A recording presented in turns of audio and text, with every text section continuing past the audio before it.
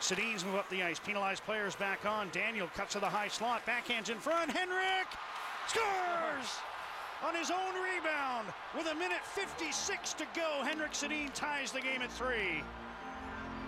And that's created because Christian Ehrhoff, when he came out of the penalty box, he charged right to the front of the net.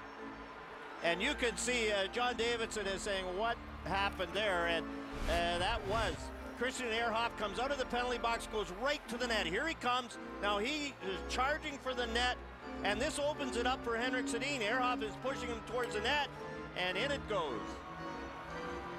And look at Henrik Sedin. Hang in, hang in, hang in, and uh, it's off Chris Mason's skate, and in it goes. And uh, John Shannon and Doug MacLean were talking about the Sedins. Well, they end up getting two goals in this one. Henrik has a goal and an assist. Came in as the second leading scorer in the NHL.